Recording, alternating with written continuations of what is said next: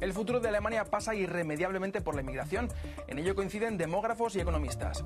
Los sucesivos gobiernos han sido incapaces de fomentar un aumento de la natalidad ni de tomar medidas efectivas que atraigan a suficientes trabajadores extranjeros. El país necesita al menos una inmigración neta de 400.000 personas al año para mantener su actual cifra de población trabajadora hasta el año 2060. De otra forma, la potencia industrial verá cómo su mercado laboral entra en serios problemas por falta de mano de obra. El gobierno ya está tomando medidas para atraer a talento de fuera de Europa, como simplificar la homologación de títulos académicos y profesionales extranjeros o rebajar las condiciones para acceder a la nacionalidad alemana. Pero parte de la oposición le acusa de regalar el pasaporte alemán.